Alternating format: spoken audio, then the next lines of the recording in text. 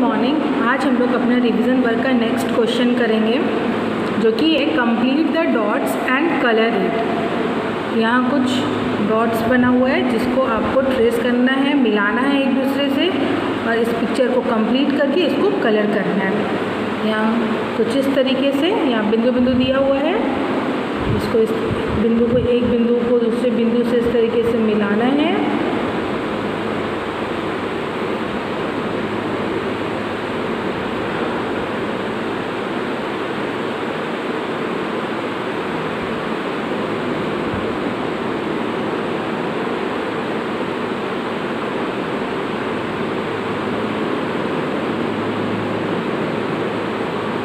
इस तरीके से इसको कंप्लीट करना है। और ये क्या बन गया? बैट बॉल अब आपको इसे अपने मनपसंद रंग से कलर करना है। और इसे अपनी कॉपी में कंप्लीट करना है।